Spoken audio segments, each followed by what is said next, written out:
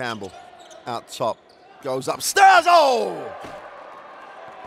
Quick throw down by Zaķis. Timing was everything. Quick pass, quick jump, quick throw down.